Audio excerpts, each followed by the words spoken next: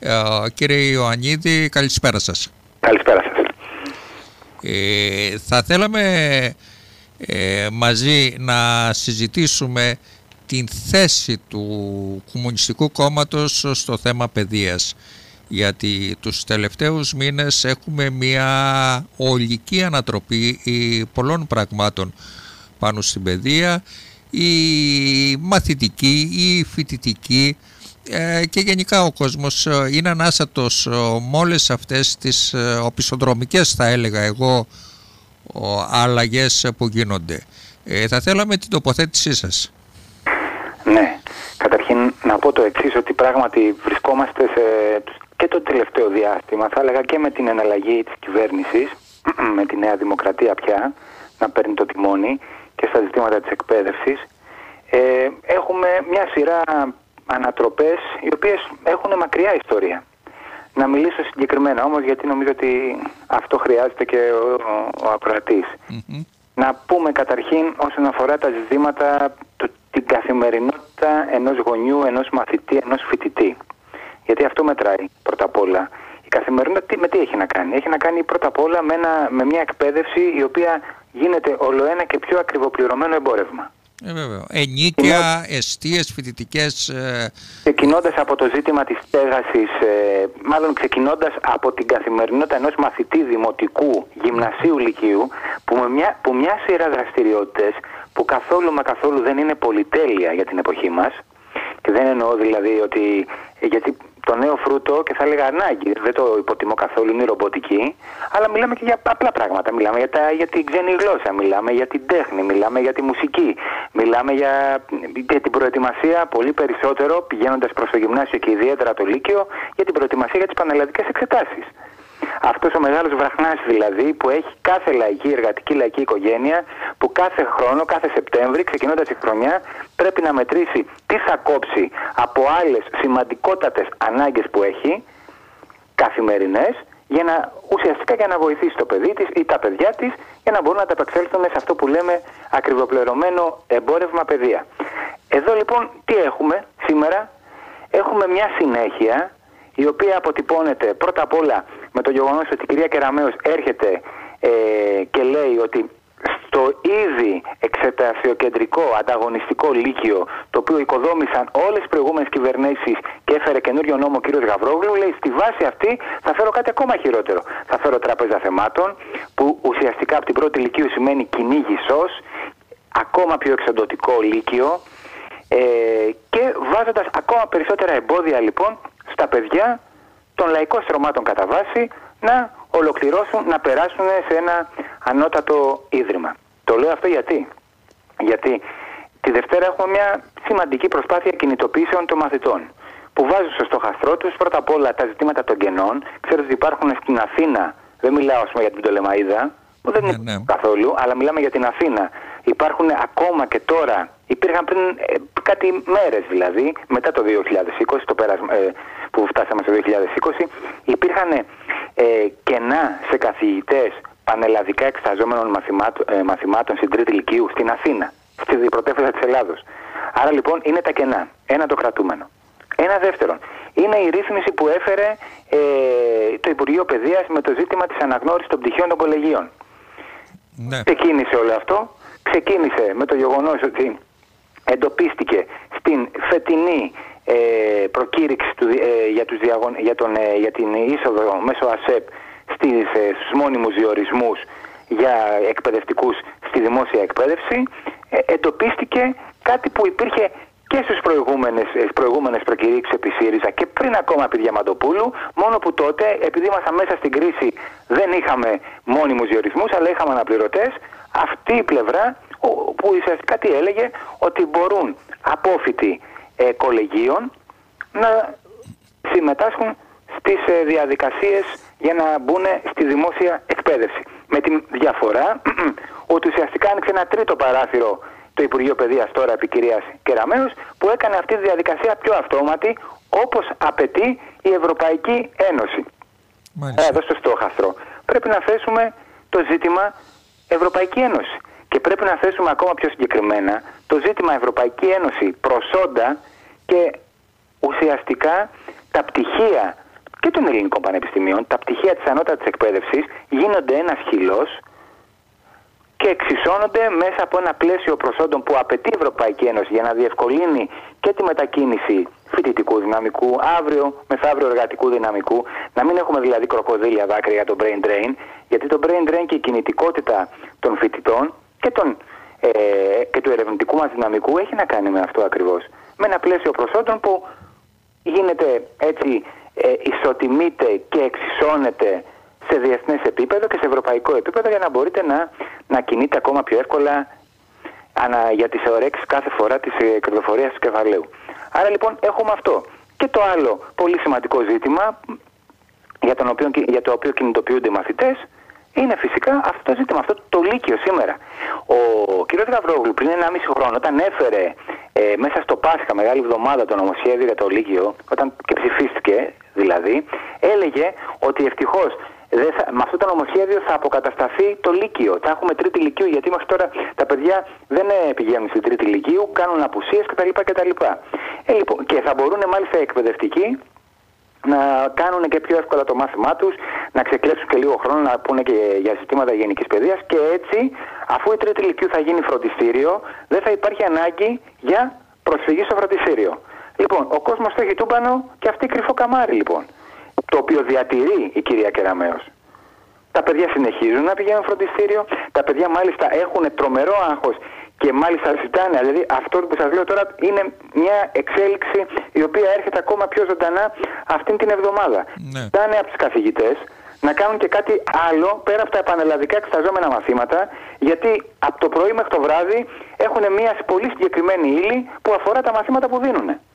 Άρα λοιπόν είναι ένα λύκειο, ένα σχολείο το οποίο κυριολεκτικά εξοντώνει και δεμορφώνει για να μιλήσω και με όρους συνθήματος που έχουν στην προμετωπίδα τους οι, οι μαθητές και μπροστά στην κινητοποίηση. Η μία πλευρά είναι αυτή. Άλλο πολύ σημαντικό ζήτημα είναι το θέμα των υποδομών των σχολείων μας. Έχουν μεσολαβήσεις σεισμοί, πλημμύρες, καταποντισμοί. Υπάρχουν αυτή τη στιγμή τρία, ε, χθες είχαν οι γονείς ε, επαφή, συνάντηση με την ΚΔΙΠΑΕ, με την υπεύθυνη δηλαδή, με τον υπεύθυνο οργανισμό για τα ζητήματα των ε, κτηριακών υποδομών και των σχολείων επίσης. Υπάρχουν σχολεία που, που απαιτούν κατεδάφιση, στην Αττική μιλάμε. Υπάρχουν μια σειρά σχολεία τα οποία ουσιαστικά δεν έχουν περάσει προσυσμικό έλεγχο, στην Αττική και πάλι. Πανελλαδικά μιλάμε για ένα 55 με 60% τέτοια παλαιότητα που δεν έχουν περάσει προσωπικό έλεγχο. Σε μια χώρα που ξέρετε πολύ καλύτερα και από μένα ότι είναι από τις πλέον σεισμογενείς στην Ευρώπη.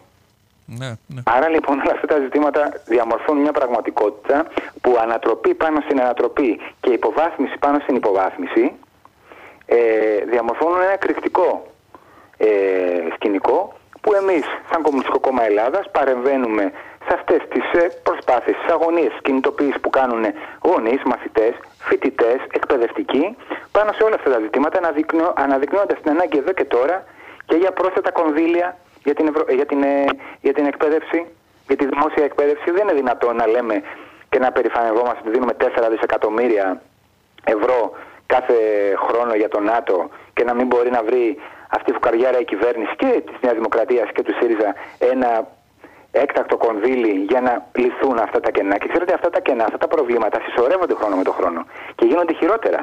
Δεν είναι δηλαδή ότι έχουμε. Γιατί υπάρχει και αυτή η επιχειρηματολογία και από την κυβέρνηση της Νέας Δημοκρατίας και πέρσι ειδικά και πρόπερσι από την κυβέρνηση του ΣΥΡΙΖΑ. Ανεβάζω τις δαπάνες στην παιδεία σε σχέση με το 2012 και 2013 που υπήρχε αυτή κάθετη πτώση, η βουτιά και του προπολογισμού και του ΑΕΠ της χώρας μέσα στο φούντομα της κρίσης Προφανώς δίνονται παραπάνω χρήματα για την παιδεία. Αλλά πρέπει να λάβουμε υπόψη μας ότι αυτά τα χρήματα δεν είναι ότι γενικά δεν αντιστοιχούν στις ανάγκες που θα έλεγε κάποιος έτσι το και καλοπροαίρετα, τι μας λέει το κουκουέ τώρα, δεν ξέρετε που βρισκόμαστε. Αλλά δίνονται σε μια κατάσταση που έχει πολύ χειροτερεύσει. Είναι σαν να λέμε ότι έχουμε ένα σπίτι 30 χρόνων και δεν το προσέχουμε, δεν το βάφουμε, δεν το συντηρούμε ε, και δίνουμε κάθε χρόνο ένα ευρώ παραπάνω. Δεν αρκεί αυτό. Χειροτερεύει τελικά την κατάσταση. Μάλιστα. Ε, ξέρετε, ήθελα να δείξουμε άλλο ένα θέμα, να μας πείτε την άποψή σας.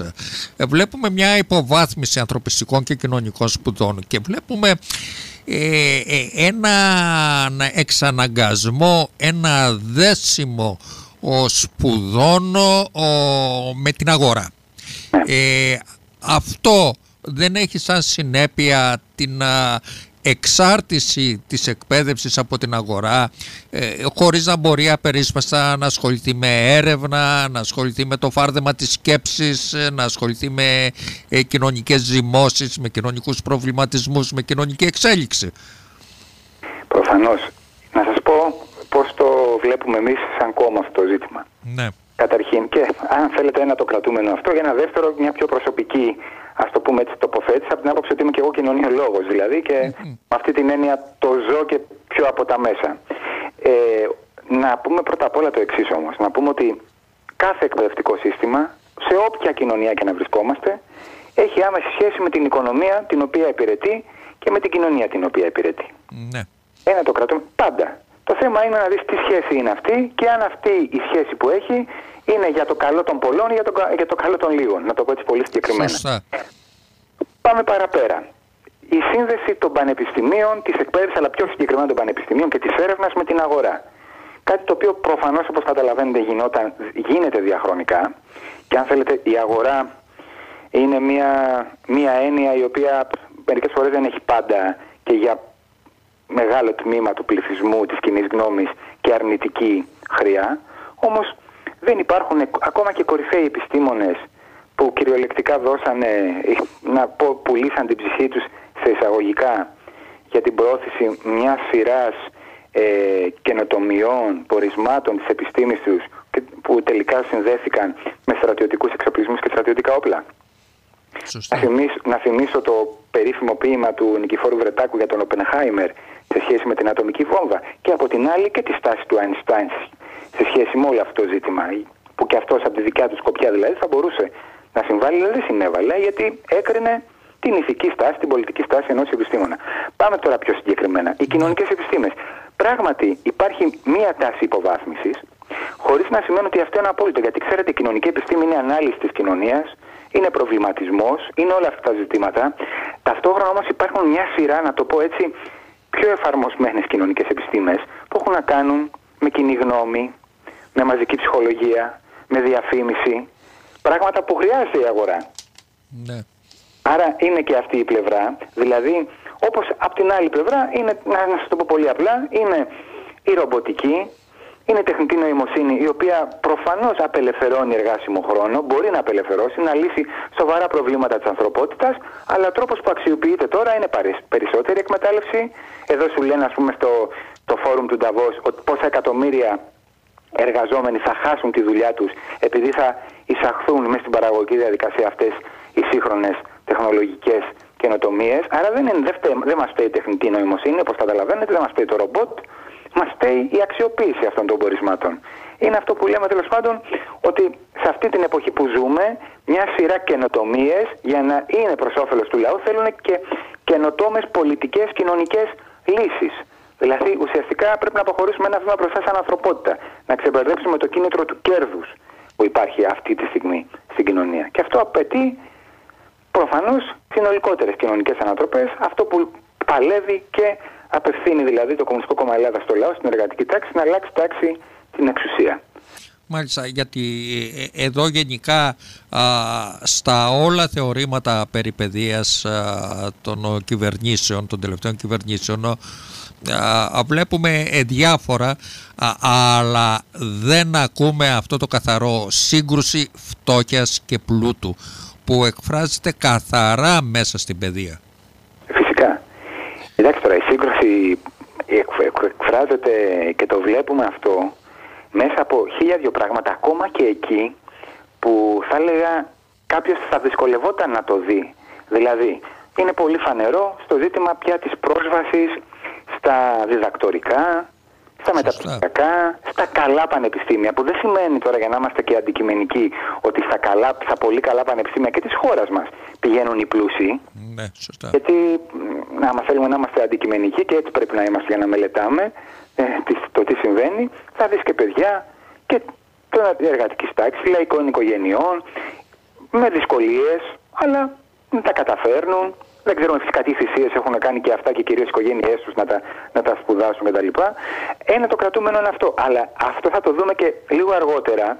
Θα το δούμε και στο πώς αυτά θα ενταχθούν αυτοί οι επιστήμονες στη διεύθυνση της κοινωνίας. Τα στελέχη των επιχειρήσεων, τα στελέχη του κρατικού τομέα, που τότε πια ουσιαστικά, ε, ας το πούμε με έναν τρόπο, ε, αλλάζουν και κοινωνικό στρώμα, αλλάζουν και κοινωνική τάξη. Όμως και παρακάτω, στα γυμνάσια, στα λύκεια, στην ε, προσχολική αγωγή ακόμα, στα δημοτικά, φαίνονται εκεί οι διαφορετικές, αυτή είναι η ουσία, οι άνισες αφετηρίες που έχουν ξεκινώντας, βάζοντας το πόδι τους την πρώτη φορά στο σχολικό προάβλιο τα παιδιά. Από, από τεσσάρων χρονών. Είναι άνισε οι αφετηρίες. Και ξέρετε, η άνηση αφετηρία δεν είναι μόνο το παιδί, δηλαδή αυτή η μεγάλη ψαλίδα εδώ μέσα στον απόλυτα φτωχό και στον απόλυτα πλούσιο. Υπάρχουν μια σειρά άλλα ζητήματα. Υπάρχουν άνθρωποι οι οποίοι ε, δεν χρειάζεται να είναι και επιχειρηματίες μεγάλοι, αλλά για χίλιου δυο λόγου, κοινωνικούς, μορφωτικούς, πολιτισμικούς, επαγγελματικούς, ανάλογα με το επάγγελμα, το ζήτημα μόρφωση το έχουν πιο ανεπτυγμένο στην ιεράρχηση. Καταλάβατε τι θέλω να πω. Δηλαδή μπορεί να, μπορεί να υπάρχει μια βιβλιοθήκη, να βλέπει το παιδί το γονιό να διαβάζει βιβλίο, σε αντίθεση με κάποιον άλλο που δεν το βλέπει. Αυτό είναι άνηση μορφωτική όρια από την αρχή. Και φυσικά καταλαβαίνετε ότι δεν μπορούμε να μιλήσουμε με, με ίδιους όρους ακόμα και για τα δημόσια σχολεία μιας περιοχής ας πούμε της Β' Πειραιά, μια που βρίσκομαι εγώ από εκεί και ξέρω τι παίζει, τι γίνεται, με μια ακόμα και για τα δημόσια σχολεία των ε, φορείων προαστίων. Μάλιστα. Όσια μιλάω, δεν μιλάω για τα ιδιωτικά, γιατί εκεί πέρα πάμε άλλο παράδειγμα. Εκεί έχουν πισίνες και γήπεδα, εντάξει, απευθύνονται σε ένα πολύ συγκεκριμένο κόσμο. Μάλιστα. Ε, κύριε Ιωαννίδη, θέλουμε να σας ευχαριστήσουμε που ανταποκριθήκατε στο κάλεσμά μας. Ε, το θέμα είναι, ε, ας μου επιτραπεί να πω απέραντο, ο, ε, ελάχιστα θίξαμε. Ε, θα θέλαμε σε κάθε ευκαιρία, εάν έχετε διάθεση και χρόνο, σε επόμενη εκπομπή μας να επανέλθουμε για άλλα θέματα που αφορούν την παιδεία. Φυσικά, να ευχαριστήσω πάρα πολύ και να σας πω επίσης ότι ήδη το κόμμα μας έχει καταθέσει δύο πολύ αναλυτικά κείμενα για το σχολείο που εμείς ε, πιστεύουμε ότι ανταποκρίνεται στις σύγχρονες κοινωνικές ανάγκες, το 12χρονο σχολείο όπως το ονομάζουμε ενιαίο, ναι. όπως επίσης και για τα ζητήματα της προσχολικής αγωγής. Είναι δύο ολοκληρωμένα κείμενα που τοποθετούνται και στο τι συμβαίνει σήμερα αλλά και πώς πρέπει να είναι δομημένα αυτά τα αντίστοιχα, αυτές οι αντίστοιχες εκπαιδευτικές βαθμίδες και το επόμενο διάστημα θα έχουμε και την πρότασή μας για τα πανεπιστήμια πιο αναλυτικά. Μάλιστα. Ευχαριστούμε πάρα πολύ για την πολύ όμορφη συζήτησή μας. Καλό υπόλοιπο ημέρας να έχετε. Γεια σας.